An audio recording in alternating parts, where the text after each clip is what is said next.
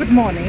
The sun came just out and I went a bit up the hill and I would like to show you a bit of view out of the conservatory which looks like this.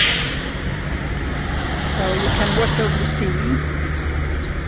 And actually now I see in the, in the distance I see another isle but I'm not sure if it's clouds or it's an isle. I will ask later.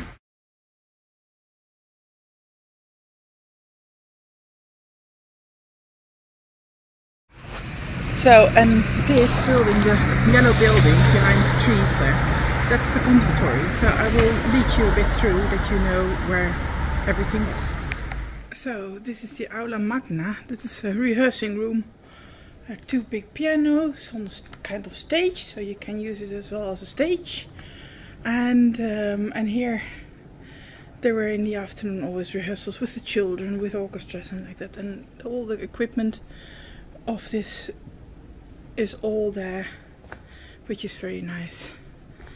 And then I go, to, so this, we are on the second floor. so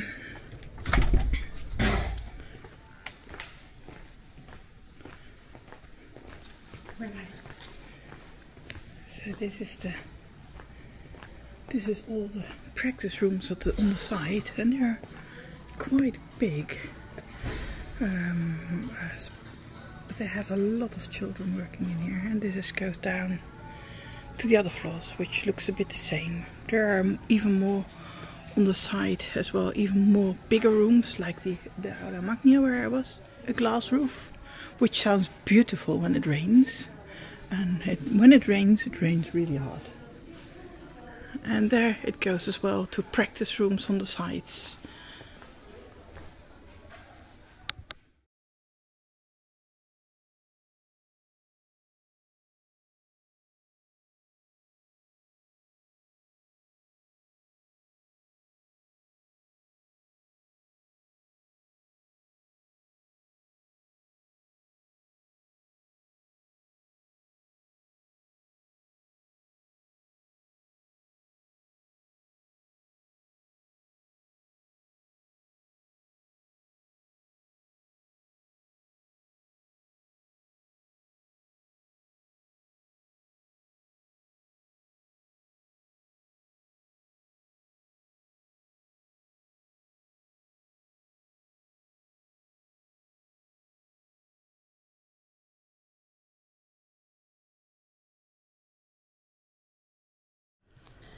Good evening.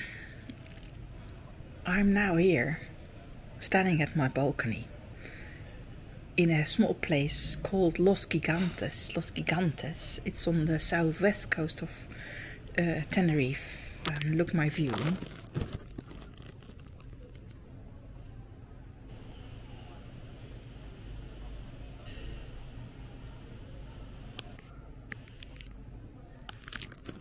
It's beautiful. So, um, this morning we had our last day, uh, our last morning with Garth Knox. Um, uh, we the first hour where was uh, my the workshop of the Viola d'Amore. Uh, we used it to talk uh, the about the Viola d'Amore and about um, uh, possibilities with a, a, group of young students who were all in into composition and it was really nice. So we had a we had a lot of uh, a lot of nice answers and questions. So that was very good. Some notes sound, you know, very resonant, others are very dry, and that's the interesting part of it. That's something you can play on musically to make more of a difference between the notes. So every note has its own personality, and not just a, a note. Have you ever um, linked it up to an electronic system?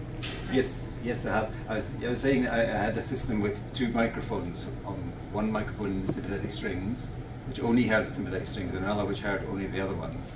And you can differentiate them and change the balance. And what kind of microphone was it? Was that that one?